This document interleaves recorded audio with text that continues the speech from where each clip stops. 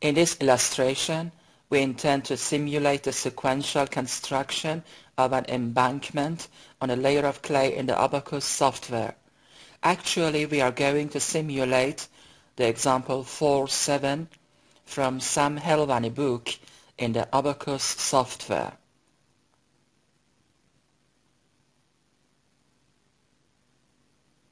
The embankment is composed of three layers and the thickness of each layer is equal to 0.6 meter and each layer is constructed within a period of two days. Here I will draw a rectangle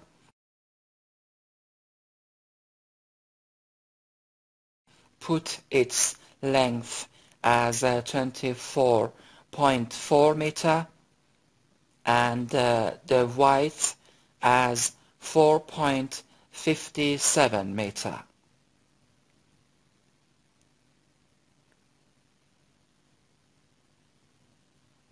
Click on create material here. First I intend to create the properties of the embankment. I return to Sam Helwany book. As explained here, uh, the properties of the embankment is in form of linear elasticity, uh, the density of which is equal to 1923 kilogram per cubic meter. I'll select density from the general menu and enter the density equal to 1923 kilogram per cubic meter. In the next step, I'll select elasticity and elastic from mechanical menu. The Young module is equal to 478 kilopascal, so I'll enter 478 multiplied by 10 to the power of 3 Pascal. In the next step, I'll select elasticity and porous elastic from mechanical menu. Here load bulk modules that is displayed by kappa is equal to 0.026. So I'll enter 0.026. The Poisson ratio is 0.28 and enter tensile limit equal to 0. In the next step, I'll select plasticity and clay plasticity from mechanical menu. Here, the quantity of lambda is equal to 0.174. Stress uh, ratio is equal to 1.5 initial yield surface size is equal to 103 here select uh, geostatic. Here the analysis will be in non-linear. And uh, here I'll select automatic. Then I'll select unsymmetric from here and click on OK. Actually, a geostatic step will be defined so we can make sure that equilibrium is within the clay layer. I'll click on uh, create step.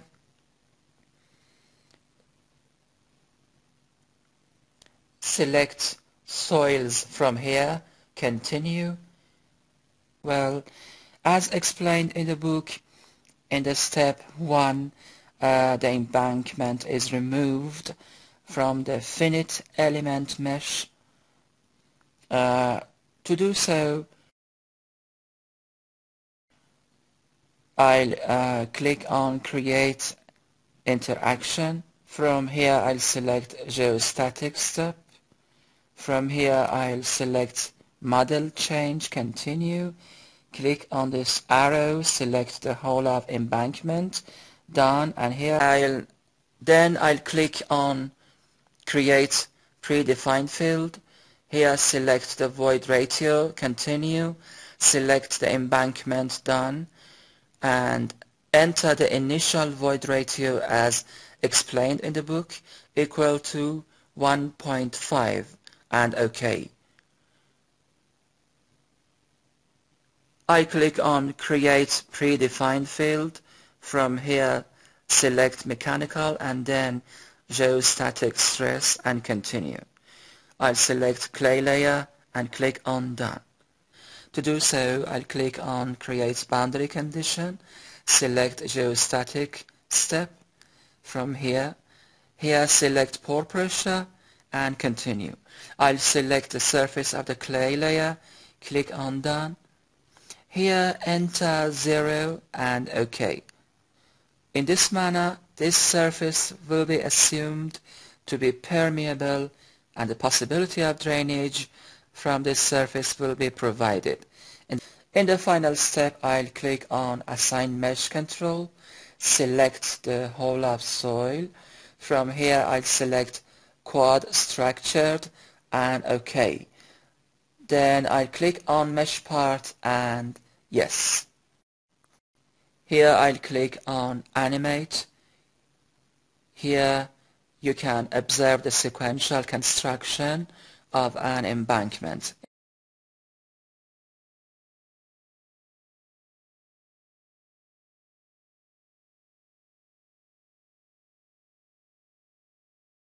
I, in the next step, I'll select pore pressure from here and click on Animate.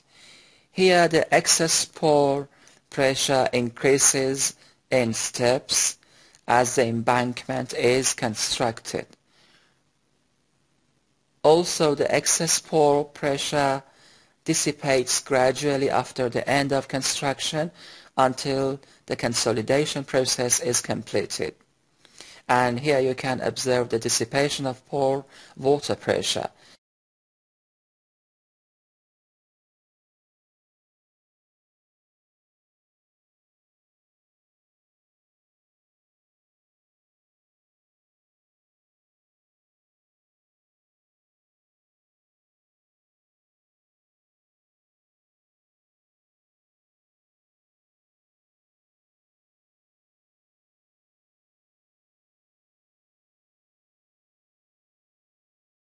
Here we intend to calculate the consolidation settlement under the center of the embankment. Actually, we intend to draw this diagram. To do so, I click on Create XY Data. From here, select ODB Field Output, Continue. From here, Unique Nodal, then select U2. Here, click on Edit Selection and select this node, then Plot save and OK. Click on edit, select these two columns, copy and uh, paste them in Excel software. I'll select these two columns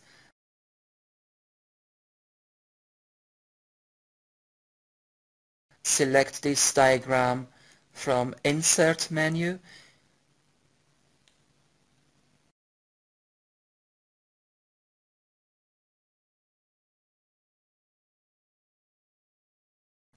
Here the diagram having been marked out with blue color is the one obtained from the Abaqus software.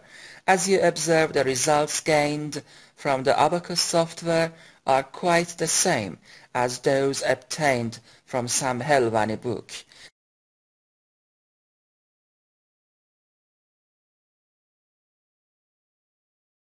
In the next step, we are going to calculate the pore water pressure in the middle of a clay layer under the center of an embankment. Or in other words, we intend to get this diagram. To do so, I will click on Create XY Data.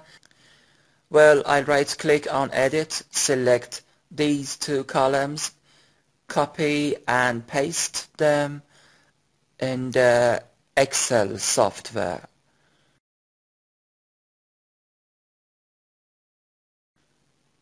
The first column is the time period based on day. And uh, the second column is uh, the pore pressure based on kilopascal.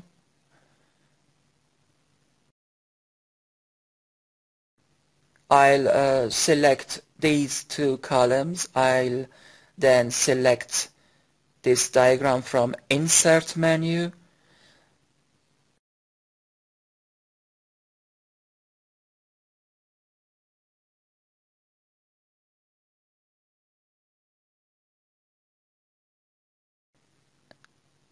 The diagram having been marked out with blue color is the one obtained from the Abaqus software. As you observe, the results gained from the Abaqus software are quite the same as those gained from Sam Helwany book.